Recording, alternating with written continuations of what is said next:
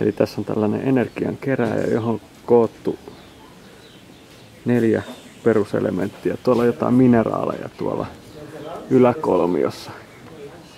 Ja sitten siinä on niin kuin eri metallit jollain tavalla koottu plus vesi, ilma ja nämä tällaiset. Ja sitten tää on tällainen energia